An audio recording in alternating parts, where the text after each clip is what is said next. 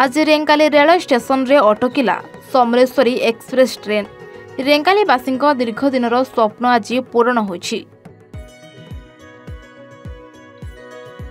ରେଙ୍ଗାଲି ବିଧାୟକ ନାଉରୀ ନାୟକଙ୍କ ସମେତ ରେଳ ଅଧିକାରୀ ରେଙ୍ଗାଲିର ବହୁ ଜନସାଧାରଣ ଏବଂ ରେଙ୍ଗାଲି ବରିଷ୍ଠ ନାଗରିକ ପରିଷଦ କ୍ରିୟାନୁଷ୍ଠାନ କମିଟିର ସଦସ୍ୟମାନେ ଉପସ୍ଥିତ ରହି ରେଙ୍ଗାଲି ରେଳ ଷ୍ଟେସନରେ ସମଲେଶ୍ୱରୀ ଏକ୍ସପ୍ରେସ୍ ଟ୍ରେନ୍କୁ ସ୍ୱାଗତ ସମ୍ବର୍ଦ୍ଧନା କରିଥିଲେ ରେଙ୍ଗାଲି ଶିଳ୍ପାଞ୍ଚଳ ଅଞ୍ଚଳରେ ଦୀର୍ଘ ଦିନ ହେଲା ରେଙ୍ଗାଲି ଜନସାଧାରଣଙ୍କ ଦାବି ଆଜି ଯେହେତୁ ରେଙ୍ଗାଲିରେ ସମଲେଶ୍ୱରୀ ଏକ୍ସପ୍ରେସ୍ ଟ୍ରେନ୍ ରହିଲା ତେଣୁ ରେଙ୍ଗାଲି ଅଞ୍ଚଳରେ ଲୋକ ଖୁସି ଅନୁଭବ କରୁଛନ୍ତି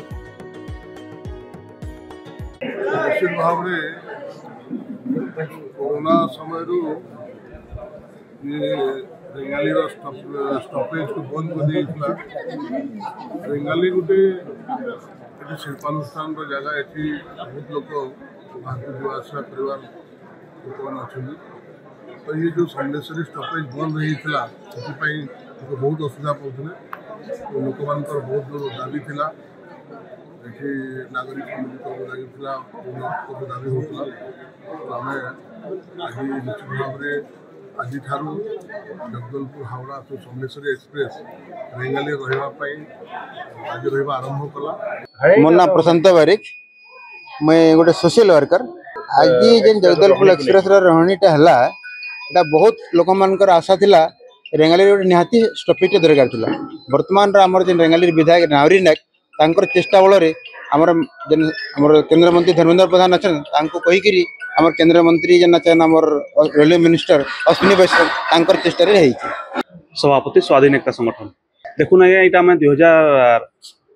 କୋଡ଼ିଏରେ ଯେତେବେଳେ ଆମର କରୋନା ହେଲା ସେ ଟାଇମ୍ରେ ବନ୍ଦ ହେଇଯାଇଥିଲା तार पर जो दुईार बैस तारगे आम दाबीपत्र डीआरएम के तार संगे आम स्ट्राइक भी कराई से टाइम तार कि प्रतिफलन नहीं होता आज का जो चलला बहुत खुशी लगुचे जेनटा कि आम समलेश्वरी कलकता जबार लगे राउरकेला जबार लगे इे कलेज स्टूडेंट मैंने जीएम कलेज अब टू बलांगीर जबार लगे बहुत किसी इजी प्रोसीजर होराम से जाऊन ठीक टाइमिंग चलीचे से बहुत खुशी हूँ ଦେଖନ୍ତୁ ଆଜି ରେଙ୍ଗାଲିବାସୀଙ୍କ ଦୀର୍ଘଦିନର ଏକ ସ୍ୱପ୍ନ ପୂରଣ ହୋଇଛି ରେଙ୍ଗାଲିରେ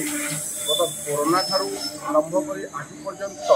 ହାଓଡ଼ା ସମଲେଶ୍ୱରୀ ଏକ୍ସପ୍ରେସ୍ ଏଠାରେ ରହଣି ନଥିଲା ରହଣି ଥିବା ସତ୍ତ୍ୱେ କରୋନାକୁ ଆଖି ଆଗରେ ରଖି ରୋହଣୀ ଉଠାଇ ଦିଆଯାଇଥିଲା ଆଜି ତାହାର ଅନ୍ତ ଘଟିଛି ରେଙ୍ଗାଲିବାସୀ ଦୀର୍ଘ ଦିନ ଧରି ଏହି ଦାବି ବାରମ୍ବାର ରେଲୱେ ଅଧିକାରୀଠାରୁ ଆରମ୍ଭ କରି ପ୍ରଶାସନିକ ଅଧିକାରୀଙ୍କ ମଧ୍ୟ আজি এৰ অন্ত ঘটিছে পুনৰ্বাৰ আজি সমলেশ্বৰী এক্সপ্ৰেস ৰহণী আৰম্ভ হয়েছে ৰেঙ্গালি সন্দীপ শৰ্মা ৰিপোৰ্ট এ ওয়ান